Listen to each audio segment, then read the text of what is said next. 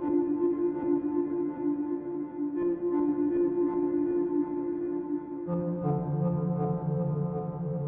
you.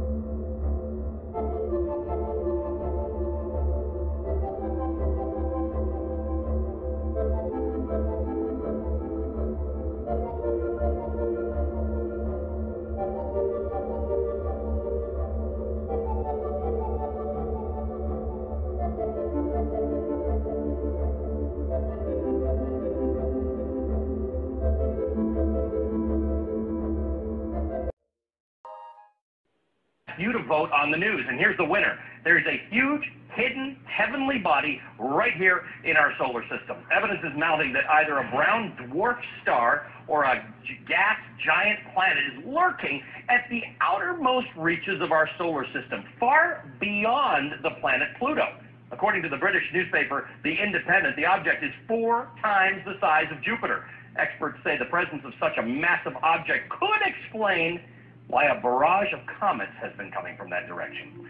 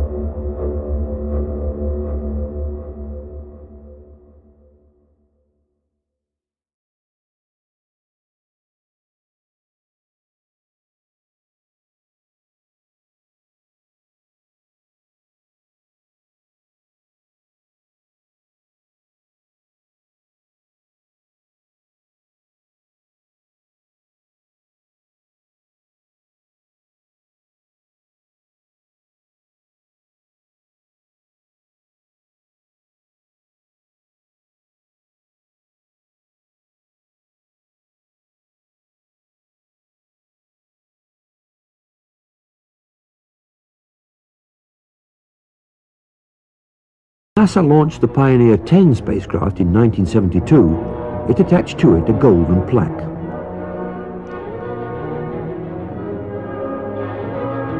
With this plaque, Pioneer carries a message to extraterrestrials about its home planet. Its symbols show the radio signature of our sun, where our planet is located, and what we looked like. As Pioneer 10 journeys on beyond the outer known planets, the data it is sending back is also being used to seek a possible 10th planet. Indeed, a March 1992 NASA press release stated, Unexplained deviations in the orbits of Uranus and Neptune point to a large outer solar system body of 4 to 8 Earth masses on a highly tilted orbit beyond 7 billion miles from the Sun. In the past two decades, astronomers have joined the search to look for one more planet in our own solar system. They designate such a planet Planet X, meaning both unknown and tenth.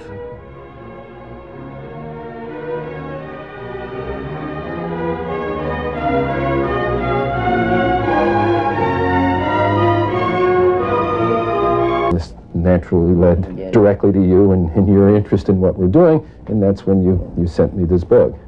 You have then postulated the existence or, or the appearance in some, some, some time eons ago uh, of, of a, a celestial body which you, I think, named in that uh, paper uh, an intruder, Yes. which may have uh, collided with or, or, or somehow uh, turned on, on their side both Uranus and Pluto.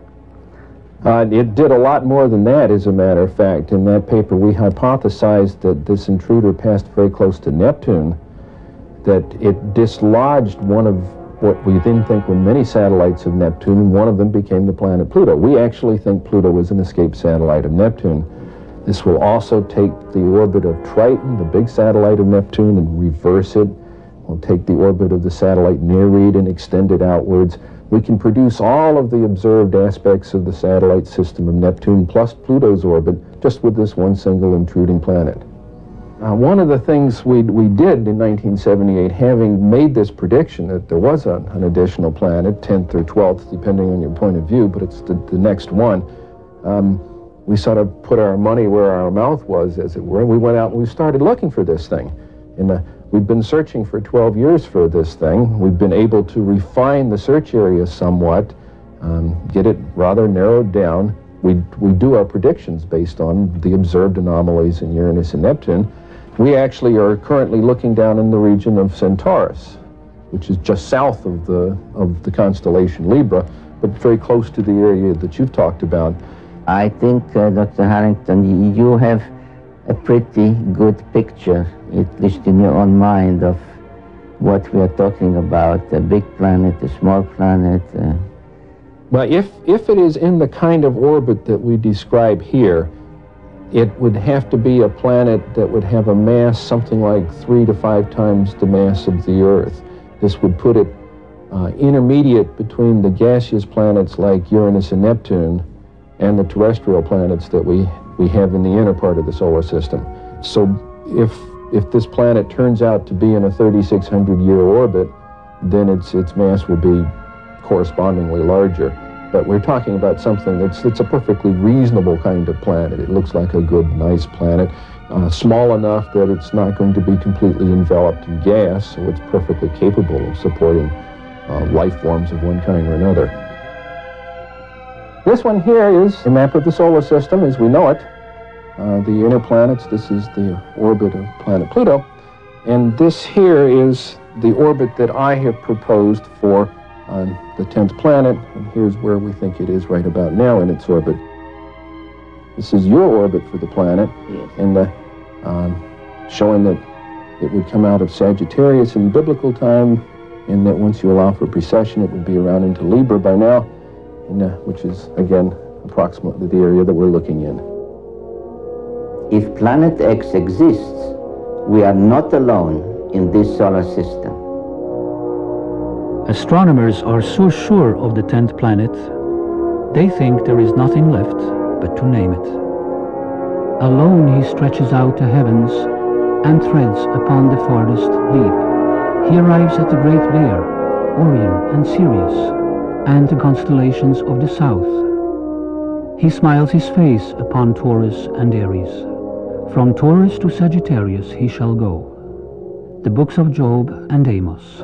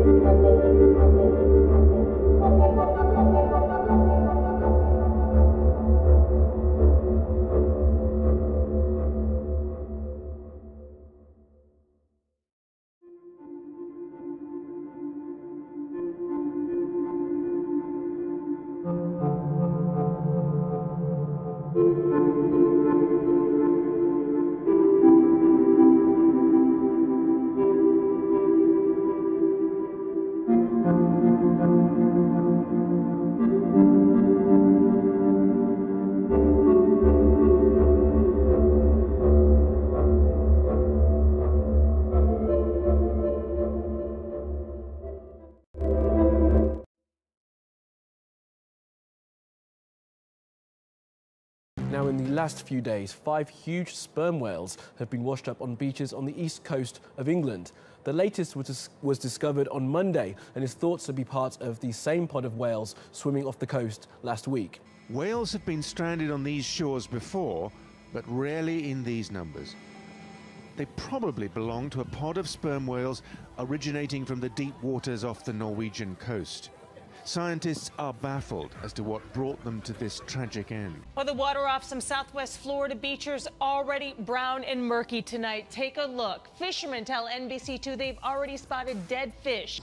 Peter and Kelly, I did speak to many local fishermen here. They say they're seeing dead fish floating in the water. One even tells me he bought shrimp for bait. He put them in a bucket and tossed them overboard, and all 50 of them died instantly. It just drives everything down. It kills the seagrass. It it does havoc on everything. I don't know what, what that water contains. My friend that was from up north wanted to know why all these dead fish were floating around in the marina there. For days, concerned ABC7 viewers have been calling our newsroom to tell us about dead fish floating in the lake. They also say the lake stinks. I don't remember seeing four or five modeling systems having this much consistency. Seven, six, five, four, three, two, one day in advance uh, we're seeing the um, everything line up for a major storm system affecting the eastern third of the country. Extreme weather at this hour, Florida taking a beating. Multiple tornadoes reported in Broward County, including an EF1, winds up to 100 miles per hour. Dramatic images the moment of impact at this college, a tractor trailer flipping over. Cars piled on top of one another, people hiding beneath underpasses, a woman inside her car as it was thrown across the highway. Yeah, it was just, it was very strange. I've never seen anything like this where cars have been flipped over, you know, just because of a storm. Good evening. South Australians are being warned the effects of the wild weather are not over yet. Two days of heavy rain, flooding and gale force winds left around 1,000 properties without power, and there's now the ongoing danger of falling trees. Adelaide's wettest January in almost 40 years, as gale force winds of more than 110 kilometres an hour pummeled parts of the state. Just one week after a severe thunderstorm tore through the city. Normally in January we don't get uh, very much rainfall. But Adelaide received almost twice its average monthly rainfall over the past two days alone. Parts of California are cleaning up this morning from a deadly winter storm. High winds ravaged the state. One driver in San Diego was killed Sunday when a tree toppled onto her car. High winds uprooted an eight foot wide oak tree in San Diego. I've been here 15 years, never seen the wind blow this hard. This scaffolding was reduced to a pile of twisted metal. Trees fell all across Southern California because the ground is soaked by recent storms, and winds were howling at up to 70 miles per hour. Well, a massive sinkhole has opened up in southern Oregon, and it's taken out a huge chunk of a busy highway Highway 101 near the California border. And from the air there, you can see a side road completely washed away. It just grew after a storm dumped nearly an inch and a half of rain.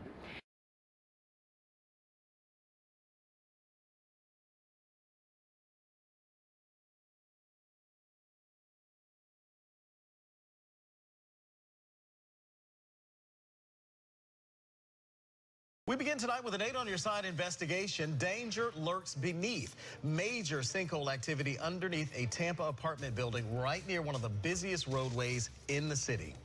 Now, we got our hands on a very disturbing report and took that straight to city officials. And they found it so alarming, they took immediate action.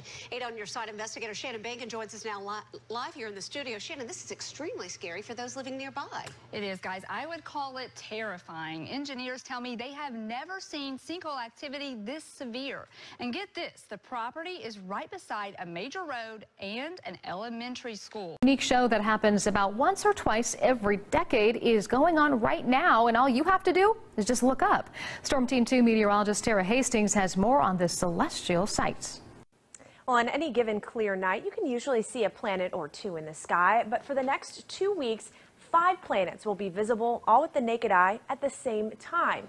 For the first time in 11 years, Mercury, Venus, Mars, Saturn, and Jupiter will make an appearance in the pre-dawn sky if you're willing to get up early between January 20th and February 20th, you do get up early all the time, Jill, for work. But for those of us who don't, you're in for a special treat if you do. It's called a planetary spectacle of all five of the so-called bright planets. They will be visible to the human eye. That includes Mercury, Venus, Mars, Jupiter, and Saturn.